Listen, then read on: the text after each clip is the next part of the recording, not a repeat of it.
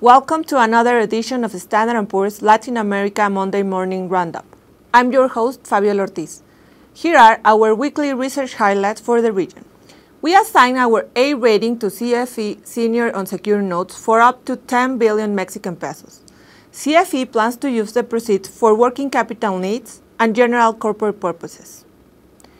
We revised the outlook on consolidated energy to stable from positive and affirm its double B rating. The revised outlook reflects the slower improvement in sales near-term credit metrics than originally anticipated under our base case scenario. We also assigned our double B rating to a 300 million seven-year secured term loan to be issued by Methanol Holdings. Methanol Holdings is a wholly owned subsidiary of CEL.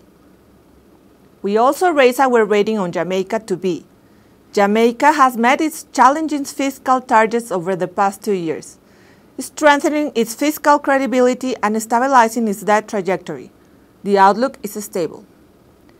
We revised the outlook on our B rating on Brazil-based refined copper producer Paranapanema to positive from stable. The rating action reflects Paranapanema's stronger and more stable EBITDA margins and cash flow generations, thanks to the hedging strategy that the company has implemented in the past few quarters to provide cushions against copper price volatility. This was another segment of our Latin American news. Thanks for watching, and we will see you next week.